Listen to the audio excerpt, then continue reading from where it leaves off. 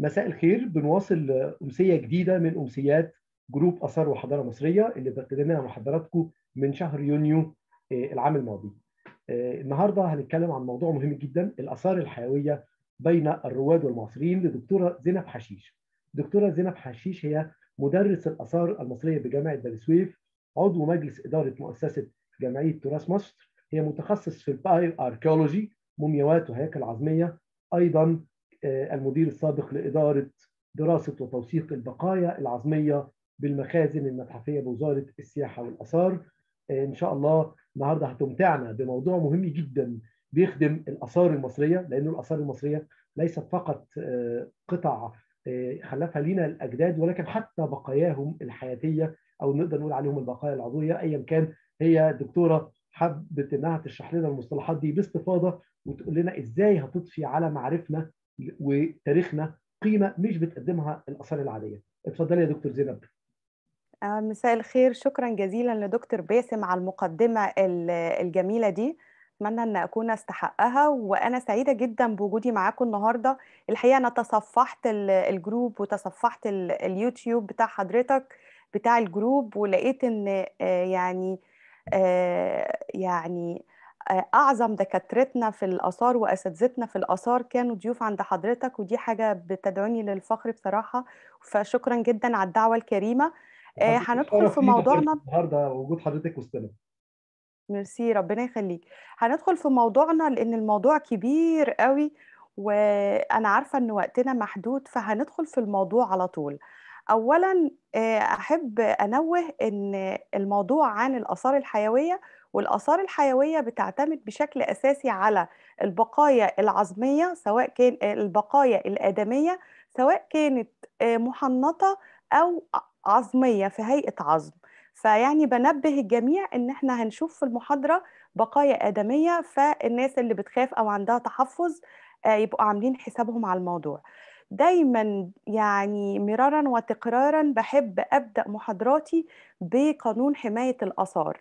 لأن دايما العاملين في الآثار اولا والعاملين في الحقل الأكاديمي ثانيا دايما بيعتبروا إن إحنا بنتكلم على حاجة على الهامش أو حاجة زي ما بي علوم مساعدة علوم مساعدة. فأنا حبيت أنوه إن قانون حماية الآثار في المادة الأولى منه وبالذات في بند رقم ثلاثة اعتبر الرفات الخاصة بالسلالات البشرية والكائنات المعاصرة لها في حكم الأثر اللي بيتم تسجيله وفقا لأحكام هذا القانون. بمعنى إن اللي, اللي هيدمر موميا أو هيدمر بقايا عظمية لازم يتحاكم وفقا لقانون حماية الآثار 117 لسنة 83 بتعديلاته المختلفة. تمام؟ فاحنا بنتكلم يا جماعة عن أيوه هو إنسان وليه قيمة وهو فعلا إنسان لكن لما نيجي نتعامل معاه نتعامل معاه زي ما بنتعامل مع الأثر ونخاف عليه و و ونتعامل معاه بكيفية معينة.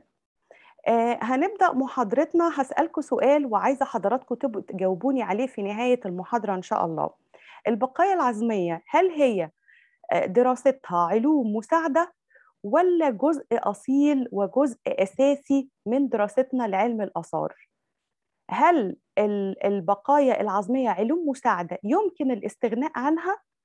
آه وخلاص وأفسر الموقع باستخدام الأدلة المادية الأثرية اللي, موجودة معايا آه دون الرجوع للبقايا العظمية ولا هي دليل أثري هام لابد إن أنا أدرجه في عملية تفسير المواقع الأثرية والمواقع الحفائر اللي أنا شغالة فيها. ده اللي هنعرف إجابته في نهاية الموضوع.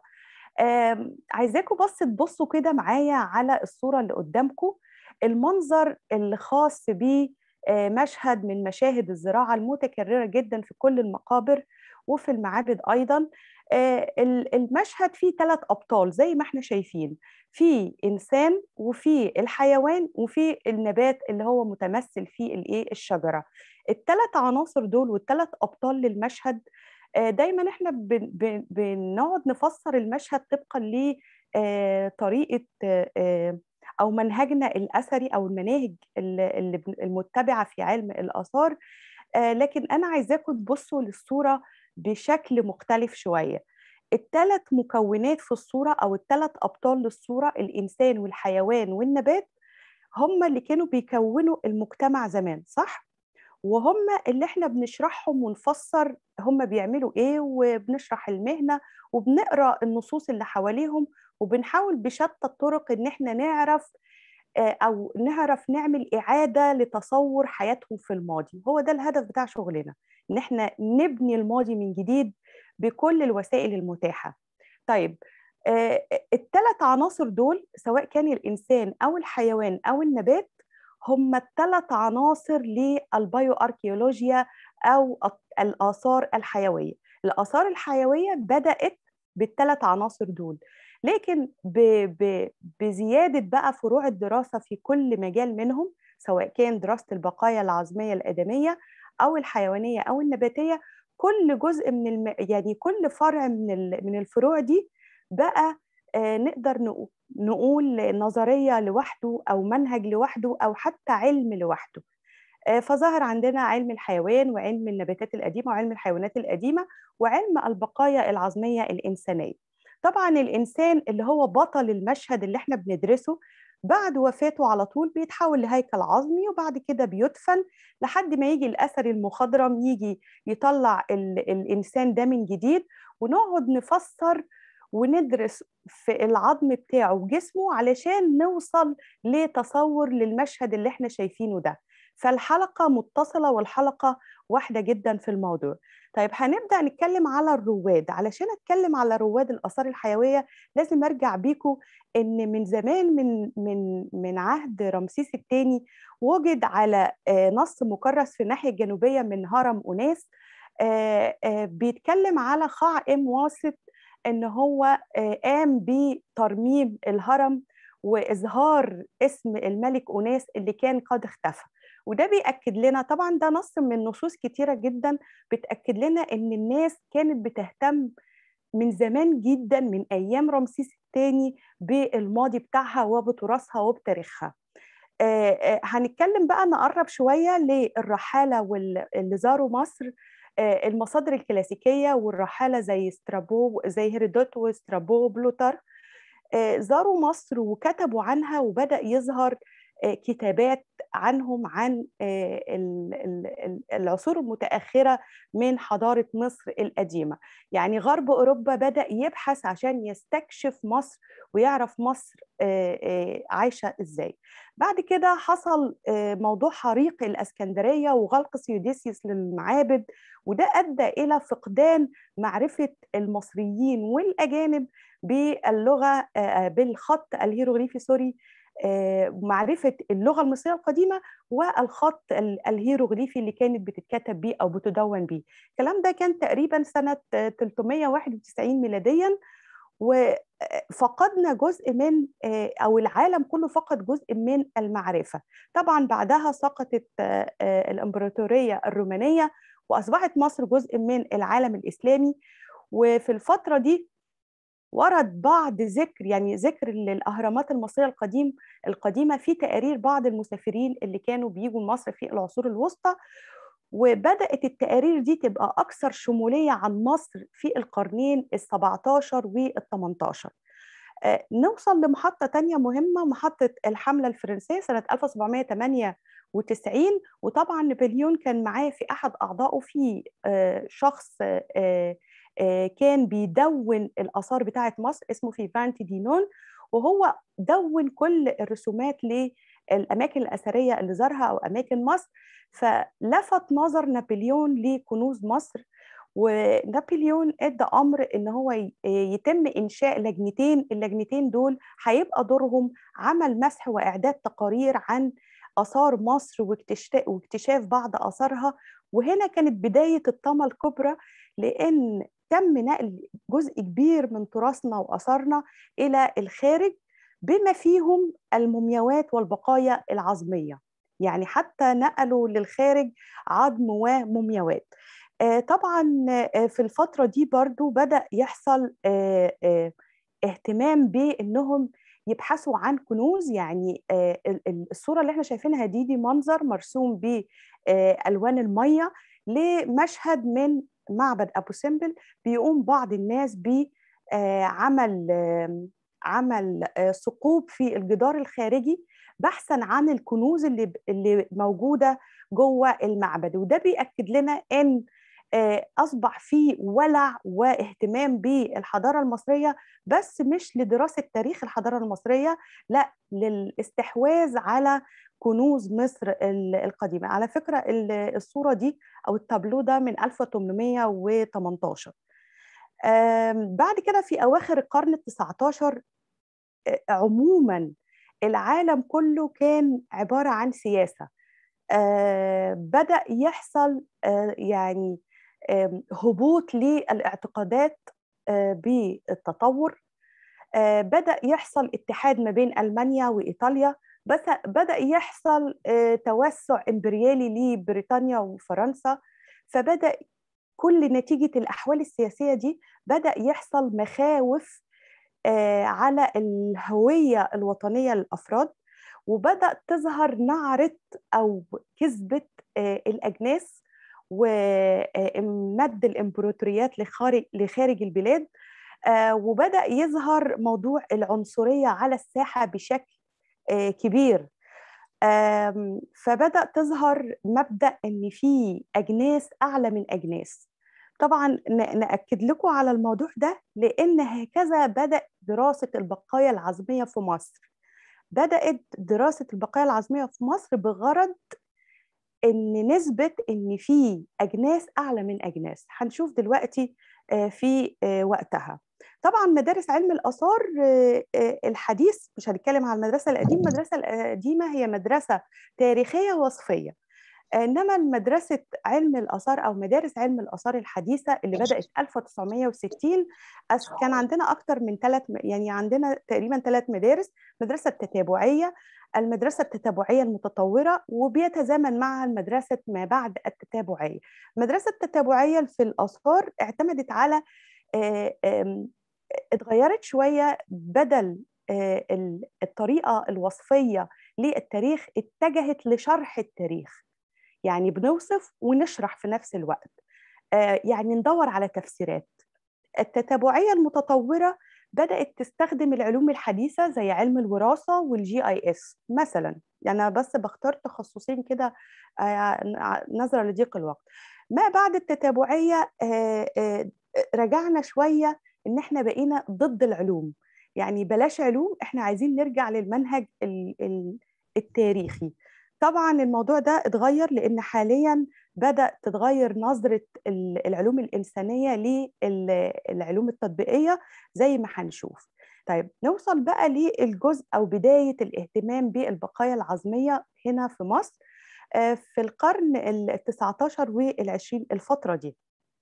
أول حاجة لويس لويس لورنت هو أول واحد تقريبا زار مصر وجمع بقايا المومياوات وأخد بس الراس بتاعتها يعني قام بقطع الجماجم بتاعتها علشان تبقى سهلة عليه إن هو ينقلها بره لدراستها. ده بيأكد لنا برضو إن الناس بقت مجانين ومهووسة بالبقايا العظمية سواء كانت عظمية أو محنطة. بعد كده في الخوف برضو زار مصر واشتغل على بعض البقايا العظمية اللي ظهرت في مصر لدرجة إنه كاتب في مذكراته طبعا الصورة دي بتؤرخ لعام 1896 وفي الخوف ده هو اللي أسس متحف تاريخ الطب في برلين.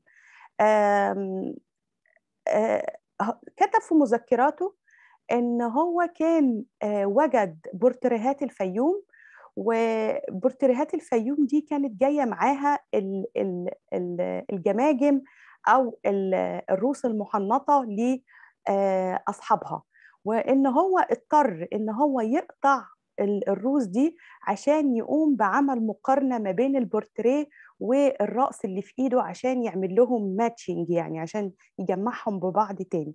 فده دليل برضو على قد إيه الهوس بالعلم دون الإنسانية أو دون التفكير في الناس دي.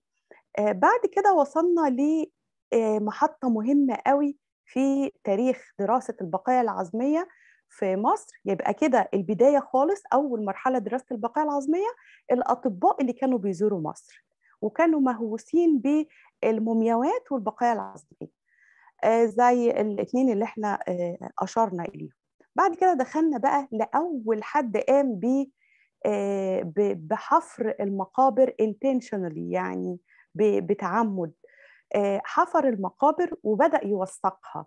اللي هو مين؟ اللي هو بيتري. بيتري طبعا بدأ حفاره في مصر 1881 اللاهون بدأ يحفر فيها 1890 وقام بقى بعمل حاجة جديدة إن هو بدأ يوثق شكل المقابر ويرسمها الرسومات الجميلة الرفع المعماري الجميل بتاعه اللي لسه لحد دلوقتي بنمشي عليه كباحثين في الآثار.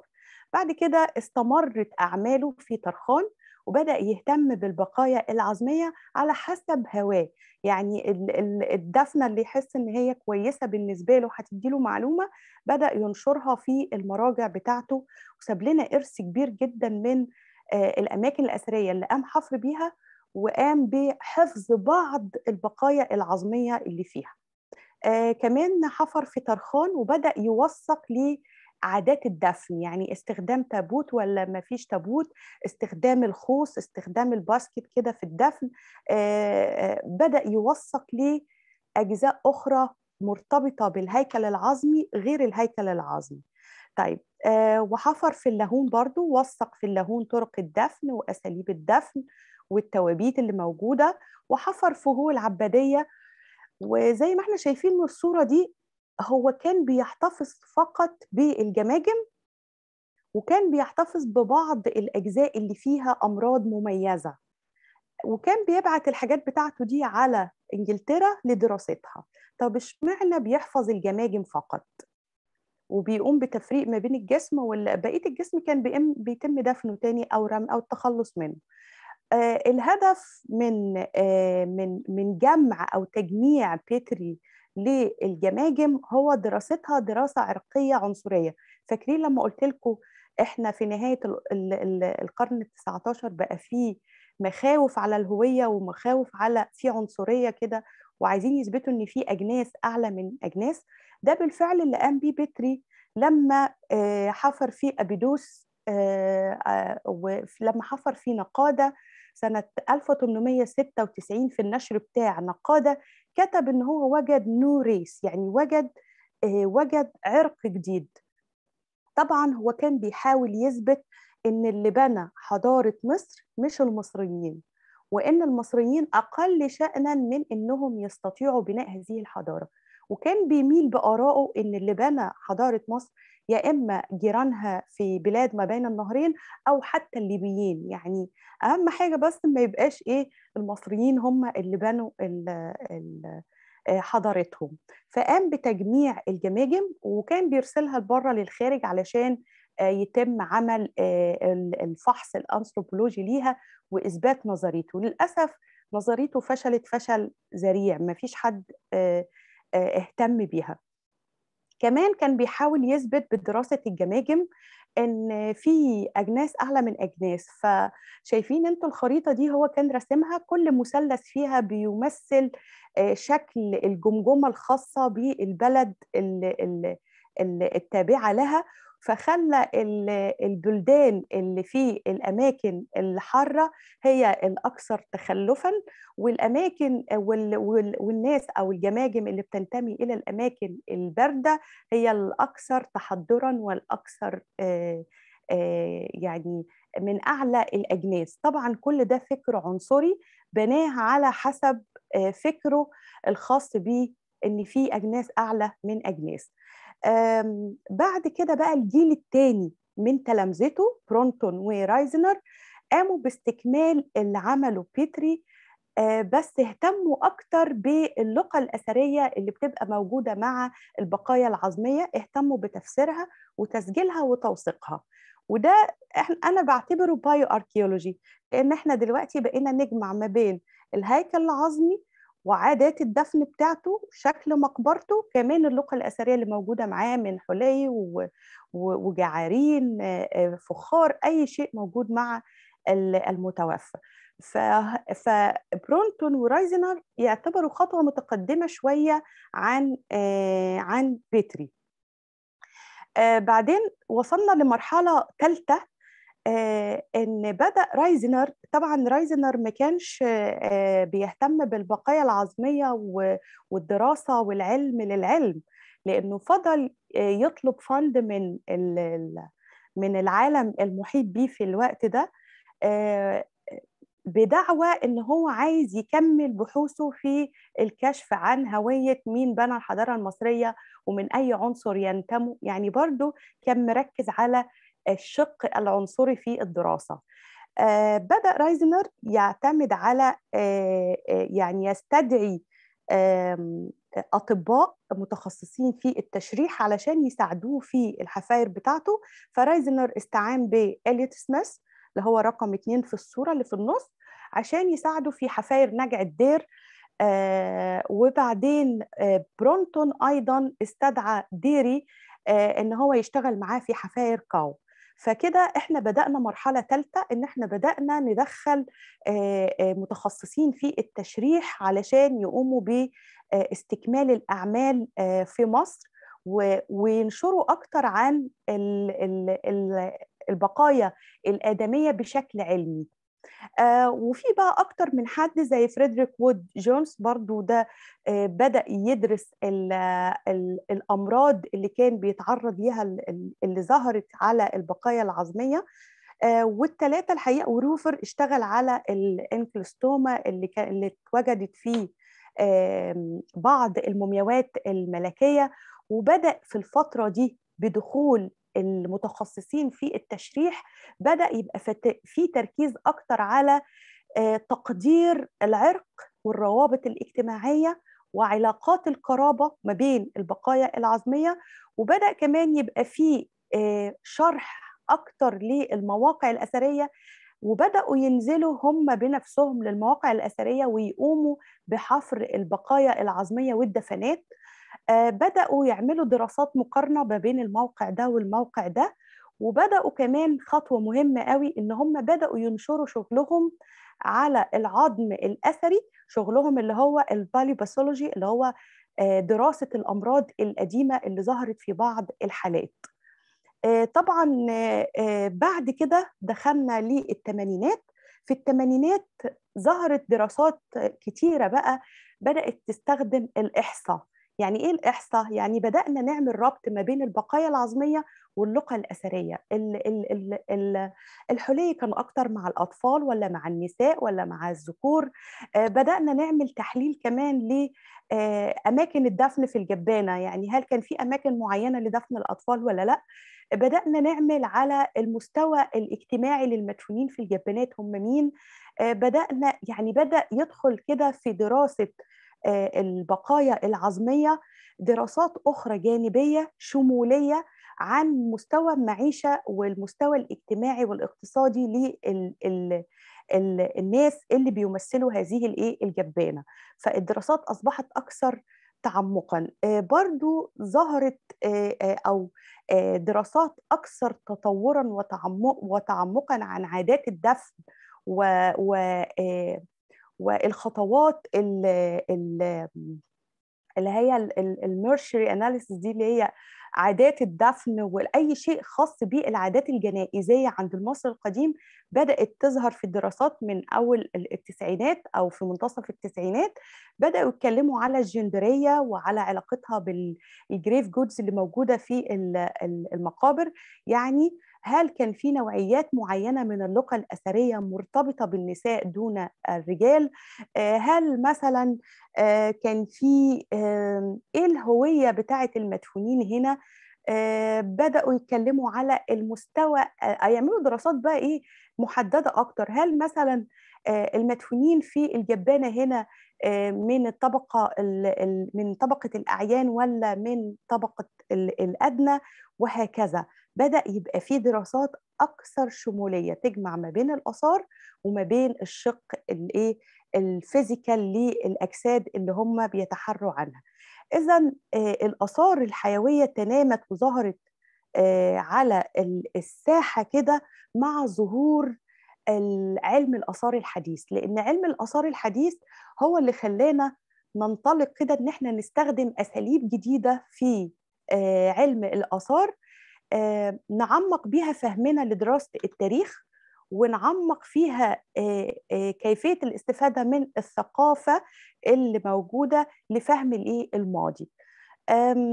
بيفكرني بالظبط زي الموضة يعني أصبحت موضة إن أنا أستخدم العلوم الحديثة.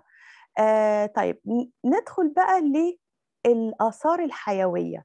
أول حد استخدم اللفظ هو جيرهام كلارك استخدمه سنة 1972 وكان بيستخدمه ل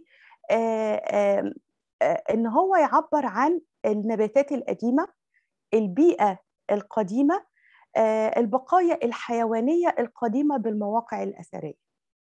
يعني ما استخدمهوش للتعبير عن البقايا العظمية الآدمية لكن اللفظ نفسه هو اللي كان مستخدم بايو أركيولوجيا. بعد كده أول شخص على الإطلاق الرائد فعلا في المجال جين بوكسترا سنة 1977 ودي تتبع المدرسة الأمريكية وهي ست أمريكية. هي أول من استخدمت المصطلح للتعبير عن دراسة البقايا العظمية في المواقع الأثرية. اللي عايزة أقوله إن دراسة البقايا العظمية في مصر بدأت قديما جدا حتى قبل ظهور النظرية الآثار الحيوية أو منهج الآثار أو علم الآثار الحيوية على الساحة. يعني إحنا في مصر تم الاهتمام ببقايانا الآدمية حتى لو لأسباب عنصرية من قبل ظهور العلم نفسه أو المنهج نفسه الخاص بدراسة الآثار الحيوية. فجين بوكسترا يرجع ليها الفضل لاستخدام هذا اللفظ. استخدمته للتعبير عن إيه؟ عن دراسة البقايا العظمية في الموقع مش في المعمل في الموقع. وهقول لكم ليه مش في المعمل لأن في المعمل ليها مسمى تاني. ال osteoarchaeology osteoarchaeology ده مصطلح برضو من مسميات الآثار الحيوية مقسوم لنصين. osteo هو اختصار كلمة osteology وهو علم دراسة العظام. و archaeology اللي هو الآثار. يبقى إحنا كده علم معناها بالمصطلح معناها هو علم بيجمع ما بين دراسة العظام الأثرية. ده التعريف بتاع المصطلح. في كمان ال paleoosteology اللي هو علم دراسة العظام القديمة. هو برضو من المسميات للآثار الحيوية. وطبعا الاسم المسيطر حاليا واللي تم تعريب الاسم العربي من خلاله اللي هو bioarchaeology bio اللي هو الشق الأول من كلمة بيولوجي وال archaeology المصطلح بدأ ينتشر أكتر انتشر في أوروبا وانتشر في بلدان أخرى وانتشر في أمريكا لحد ما وصلنا طيب إيه بقى الآثار الحيوية؟ إيه بقى البايو أركيولوجيا؟ البايو أركيولوجيا تسع دقايق في الجلسة الأولى وهنتوقف بعد 8 دقايق وإن شاء الله نفتح الزوم مباشرة الثاني ونكمل المحاضرة القيمة لحضرتك. ميرسي جدا وأنا آسف على القطع. شك... شكرا لحضرتك. إحنا بن... بنهتم في الآثار الحيوية إن إحنا بنهتم ب إن إحنا نعرف معلومات عن الأشخاص نفسهم الأفراد دول.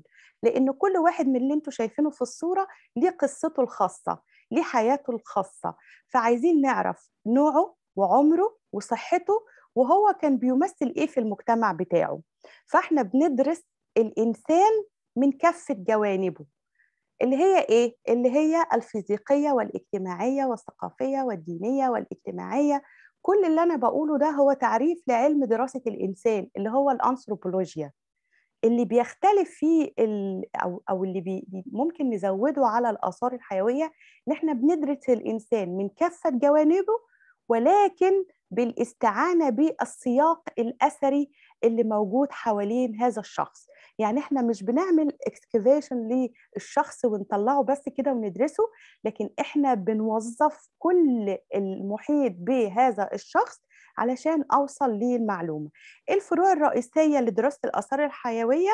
إن أنا بدرس علامات الإجهاد على الشخص اللي بيقابلني بدرس مؤشرات للنشاط البدني اللي بيقوم بيه الشخص بدرس إصابات العمل اللي تعرض ليها أثناء حياته كمان منها شق خاص ببنية المجتمع القديم كمان غير تحديد العمر والنوع ليه.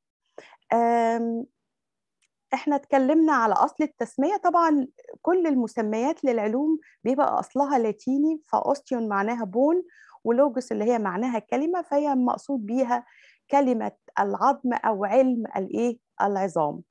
آه طيب علم العظام إيه الفرق ما بين ال osteology وال bioarchaeology ال osteology ال osteologist ممكن يبقى في المعمل فقط يعني مش بالضرورة ينزل الموقع ويعمل حفاير لكن هو بيدرس العظم فقط اللي قدامه.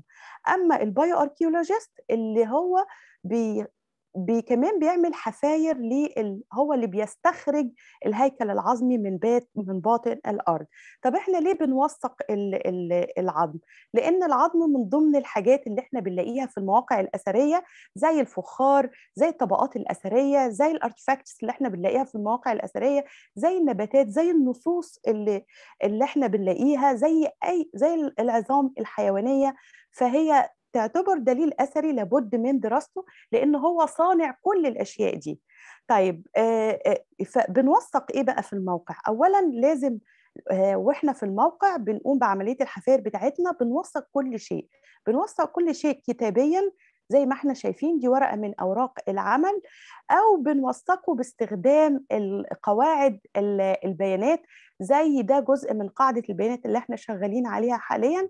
القاعدة دي بتشمل جميع المعلومات اللازمة إضافتها سواء معلومات خاصة بمقاسات بعمر بنوع بالموقع بالأمراض اللي كان بيتعرض ليها بتوثيق كل جزء في العظمة اللي هو ال inventory بتوصيف الأطفال وال وال وال, وال...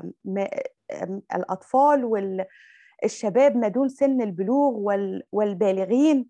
فهي. بنسجل فيها كل شيء طيب يعني نقدر نلخص الجزء الأول من المحاضرة إن البايو اركيولوجيا هو علاقة ما بين الجسد والثقافة الاجتماعية اللي عايش فيها الإنسان وإن البايو اركيولوجيا مش مجرد دراسة لمورفولوجيا الجسم وتقنيات الطب الشرعي وتكهن بكيف مات الشخص والكلام ده فقط إنما هي بتوظف لدراسة المجتمعات القديمة بتوظف لدراسة الأوبئة علم الأوبئة أو بتضر أو بتوثق الوضع الاجتماعي والاقتصادي للأفراد اللي عايشين في المجتمعات. فلو هنلخص الموضوع حابة بس أقول إن الآثار الحيوية ساعدتنا إن إحنا نصحح بعض المفاهيم اللي بتخص مثلا العنصرية ضد المرأة لما عرفنا إن المرأة بتعامل معاملة الذكر في كل شيء في المجتمع من خلال البايو اركيولوجيا عرفنا كمان بعض نمط حياة الأفراد وعلاقات القرابة ما بينهم. عرفنا كمان أو صححت أفكارنا عن استخدام العنف في المجتمعات القديمة.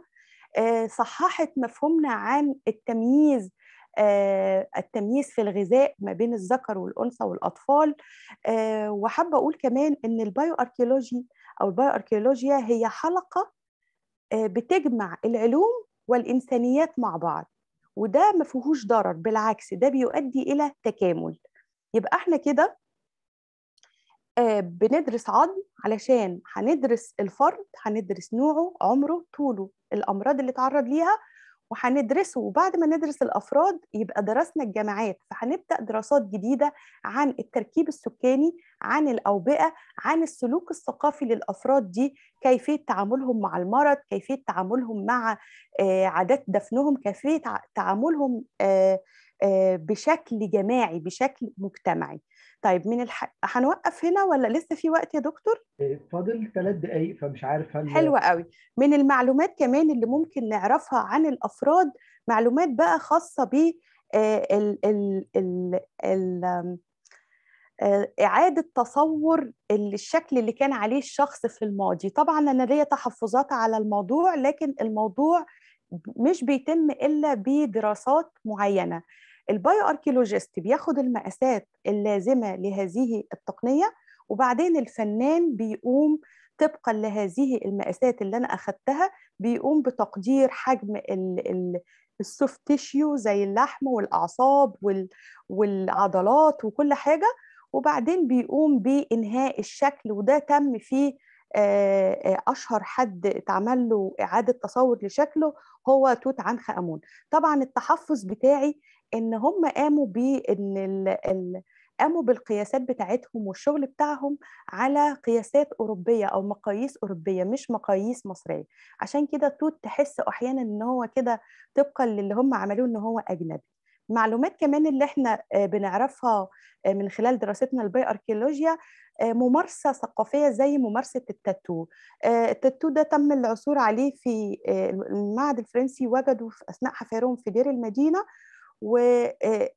وتعرف إن هو بيمثل عدة أشياء زي لوتس علامة عين الاوجات المهم إن إن آن اوستون اللي قامت بيه دراسه التاتو كانت بتحاول تدرسه في بشكل أثري وشكل ديني وحاولت تفسر هذه الرموز وأماكن يعني اشمعنى الأوجات على الرقبة؟ اشمعنى اللوتس عند الحوض؟ اشمعنى بدأت تحاول تدور على تفسير لأماكن الرسوم دي على جسم الموميا.